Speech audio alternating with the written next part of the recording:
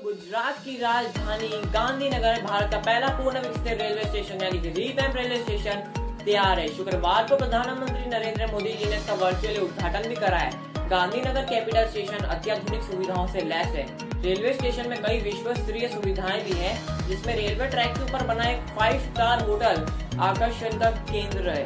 तो आप सोच सकते हैं। एक रेलवे स्टेशन के ऊपर एक फाइव स्टार होटल यानी कि अगर कोई अगर कोई फॉरेन कंट्री से हमारे यहाँ पे आता है, और अगर वो फाइव स्टार होटल को देखेगा तो उसको कितना अच्छा लगेगा कि हमारी इंडिया कंट्री कितनी ज़्यादा डेवलपिंग कंट्री है। Railway and urban development corporation limited ने 71.50 करोड़ रुपए की लागत से इसे पूर्व विकसित किया है। साथ ही साथ, यहाँ पे अगर आप खाना खाओगे तो वहाँ पे आपको सारा खाना रोबोट सर्व करेंगे। वहाँ पे जो इतना प्यारा नेचर पार्क बनाया गया है, जिसको अगर आप इसके अंदर घूमोगे तो आपको इतनी ज़्यादा नेचुरल फीलिंग आएगी और एकदम जंगल जैसी फीलिंग आएगी, जिससे आपका एकदम मूड फ्रेश हो जाएगा।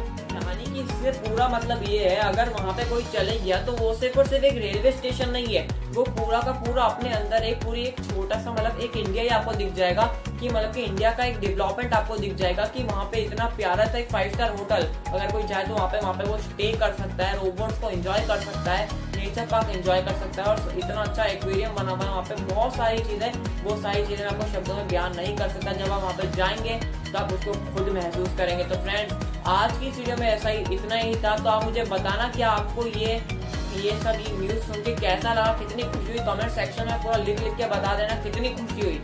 तो